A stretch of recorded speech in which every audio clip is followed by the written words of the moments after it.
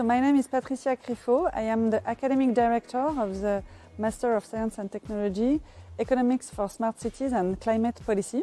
I'm professor at the Department of Economics and researcher at the CREST Laboratory, the Center for Research in Economics and Statistics at École Polytechnique.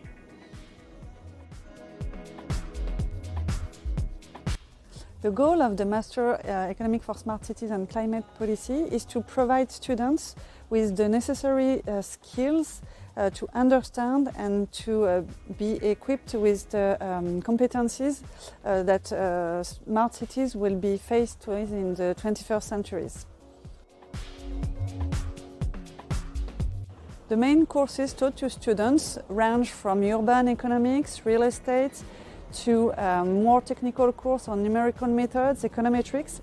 We also uh, teach uh, courses on environmental economics, of course climate policy, and all the uh, economics core courses that uh, students uh, will have to uh, apply during their curriculum.